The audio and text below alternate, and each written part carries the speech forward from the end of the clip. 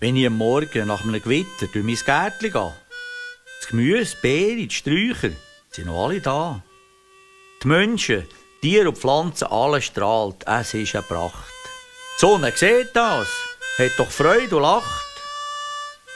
Wenn man das so hört, scheint es, es ist alles in bester Ordnung. Ist es echt tatsächlich so? Oder ist es nur ein Traum?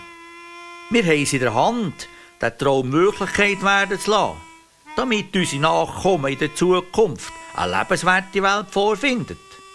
Hört, was ich euch da dazu zu sagen habe.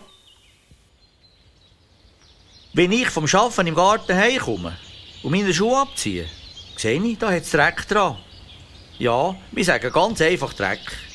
Der Dreck ist aber unsere Erde, die wir zu verdanken haben, dass wir alle leben können, existieren, dass wir zu essen und zu trinken haben und können schnaufen. Stellt doch doch mal vor, wir setzen die Rosen in die Erde. Was passiert? Sie wächst. Es gibt einen Stängel mit Blättern und Dornen. Anschliessend eine wunderbare Blume. Ja, eine Königin, die der schönste Farbe leuchtet und erst noch traumhaft schmeckt. Nebendran setzen wir eine Äpfel oder Pfirsichbaum. Die Beeren und Früchte gedeihen. Sie sind süß, verschiedene Geschmäcker und Farben.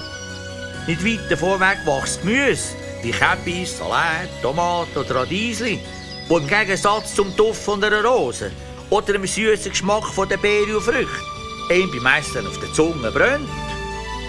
Das ist doch ein Wunder.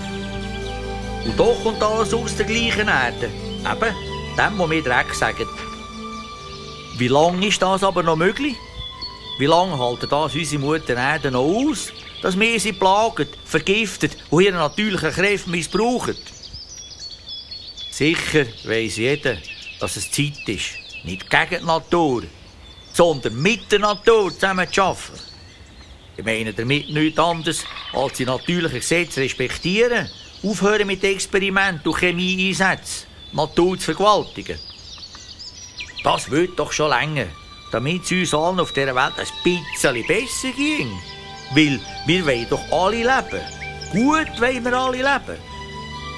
Es ist also höchste Zeit, glauben wir. Es ist schon fast spät. Darum habe ich manchmal das Gefühl, ich müsse in die ganze Welt rausschreien, dass Technik und Wissenschaft alleine uns Menschen nicht am Leben erhalten kann.